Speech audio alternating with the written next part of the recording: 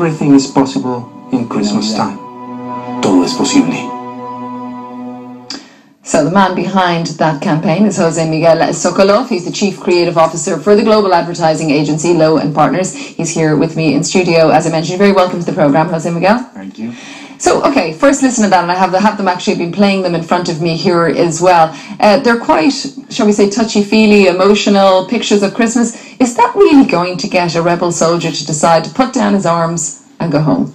Well, it has. Um, this this is a campaign that has been going on for, for many many years. Uh, it started six or seven years ago, and it started having very hard messages. But we noticed that at Christmas time there was always a peak in the number of, of rebels demobilizing.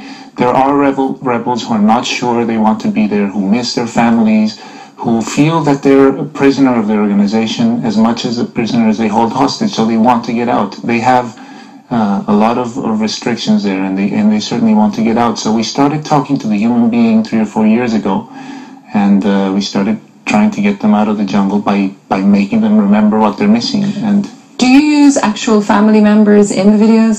This this particular uh, campaign that we're launching this year, we're using actual mothers, uh, mothers of the guerrilla who volunteered to give us uh, their their their pictures and their voice and their images. Yes. And they say, is my understanding, um, that the mother would say, "I want you next to me, not just a photo next to me." Yeah, well, that's a song that's that that accompanies the commercial. But really, what what they're saying is, before you were a guerrilla, you were my son which is what every mother would say. Uh, there's a there's a thing we, we have found that uh, one of the things that guerrilla reject. You know that Colombia is in the in the middle of of, of peace talks, mm-hmm. and we are in a ceasefire right now. The guerrilla declared a unilateral ceasefire. One of the things that the guerrillas seem to fear is that they will get rejection, not only from society but also from their family. So it's really important to have their mother say, what every mother would say. So is it also trying to educate the public about people coming home? I think it's a little bit yes, because if the conflict is going to end, we need to understand that we have had a conflict with people that are exactly like us, human, and uh, have families and, and just think differently.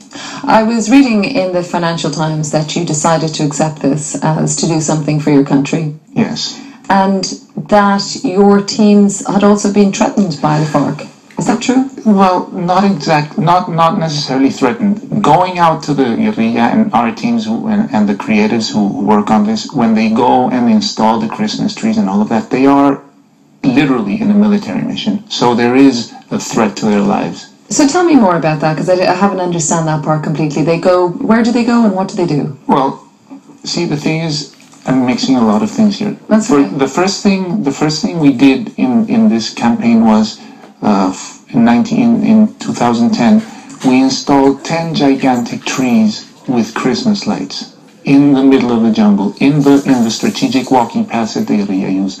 And when they passed by, the trees lit up and it said, if Christmas can, can come to the jungle, you can come home.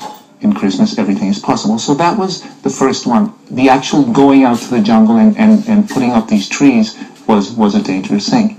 So the next year we did uh, uh, the guerrillas who came out that year told us that uh, we had missed the rivers, that they used the rivers as a, as a way of, of transportation. So we put some floating balls that were lit up with messages from their family, from the people of Colombia, and we floated them down the river, and they picked up those messages, and some of them left.